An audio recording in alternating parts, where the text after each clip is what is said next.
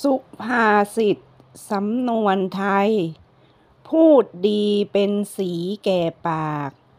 พูดมากปากมีสี โสระยาจอยสามเก้าเจ็ดแปดพูดดีเป็นสีแก่ปาก พูดมากปากมีสี พูดดีเป็นสีแก่ตัว พูดชั่ว พาตัวมัวหมอง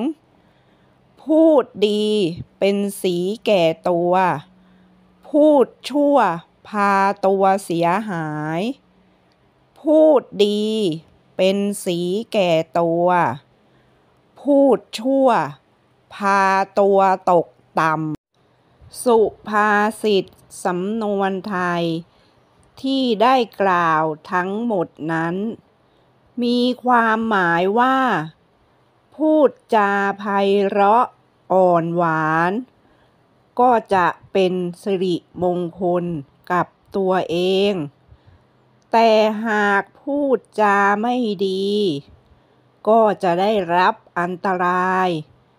เป็นภัยกับตนเอง เช่น โดนคนเกลียด โดนทำร้าย จะเห็นได้ว่า การพูด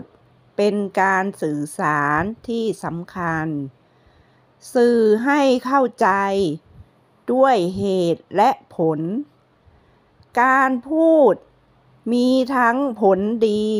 และผลเสีย เมื่อพูดไปแล้ว ผู้พูดต้องรับผิดชอบคำพูดของตนเอง คำพูดเป็นนายของเรา เมื่อเราพูดออกไป การพูดที่ดี ควรพูดออกไป ถึงสิ่งที่ดี มีประโยชน์ต่อผู้อื่น และสังคม ต้องจริงใจในสิ่งที่พูด ทุกคำพูดมาจากความคิด หากคิดดีคำพูดก็จะออกมาดี สื่อออกไปให้ผู้ฟังได้รับรู้ และมีความรู้สึกดีๆ พูดให้ถูกต้องตามกาละเทศะ ตามสถานการณ์ ตามสถานที่ พิจารณาก่อนพูด โดยดูสภาพแวดล้อม และคนฟัง เราอยู่ที่ใด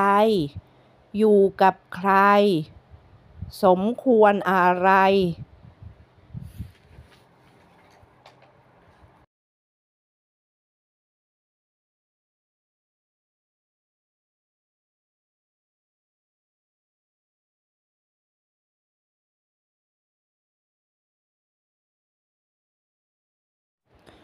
พูดให้ถูกต้องตามกาลเทศะ ตามสถานการณ์ ตามสถานที่ พิจารณาก่อนพูด โดยดูสภาพแวดล้อม และคนฟัง เราอยู่ที่ใด อยู่กับใคร สมควรพูดอะไร พูดให้เกียรติคนฟังด้วย คนเราใช่ว่าสักแต่ว่าอยากจะพูด ไม่ให้เกียรติใคร ทุกคำพูดฟังแล้วเข้าหู ชวนฟัง การพูดเป็นเรื่องสำคัญกับชีวิตมากนัก พูดแล้วดี เขาเรียก พูดดีเป็นสีแก่ปาก พูดไม่เข้าหูปากหมา เขาเรียกพูดมาก ปากมีสี